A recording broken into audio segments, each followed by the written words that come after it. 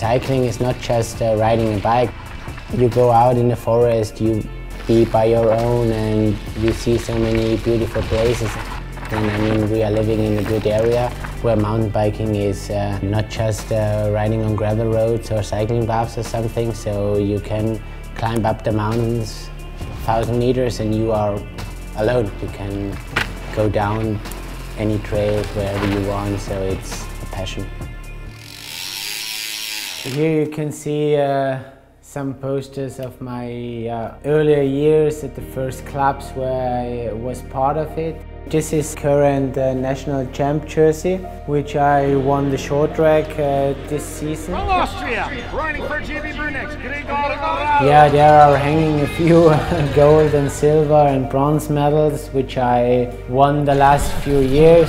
And yeah, I'm pretty proud of it and not everyone was uh, easily earned, so it was always some tough competitions. I know the different kinds of uh, bike brands, so I also know uh, how good they are and the geometry and everything. And from the very first moment when I jumped on a Superior bike, I felt very comfortable and also the geometry in the downhills is pretty fast and also stiff the frame and everything. So I felt quite good and yeah, until now I'm pretty happy and also just the whole package with, with the wheels and uh, tires and yeah, it fits perfectly together.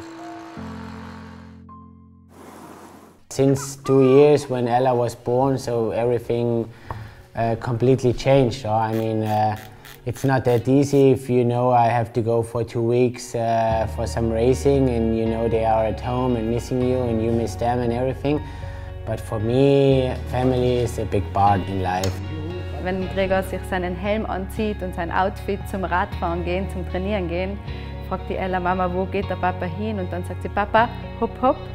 Äh, so ja, das ist schon für sie so, der Papa geht auf Rennen.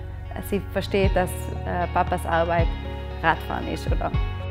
We don't talk about cycling, so that's good and also maybe sounds a bit weird, but we just have cycling in our life. I mean, it's a big part of it, but when I'm back home, it's, yeah, there are different uh, kind of stuffs and yeah. One big thing for me is not just riding bikes. I have to feel uh, well in the team and uh, I have to look forward to every weekend being away from home and uh, being, I would say, together on the road with a second family. I had a pretty, pretty hard year in 2020 with Corona and everything and I knew the team after 2020 uh, doesn't continue anymore, so you have to look for something else. And yeah, that was not the best year for it because every race got cancelled. And yeah, after that, uh, I decided, okay, what should I do? Or I thought about it, and um, yeah, then I came in contact with Joe and Lisa. And uh, they just gave me from the very first minute the feeling that I'm very welcomed in their team and they really want me to, to have yeah, that was the best uh, thing I, I got. This season I showed that I can do also top 20, top 25 and that motivates me even more for, for next year. And I also know the material from Superior and everything, it fits perfectly together.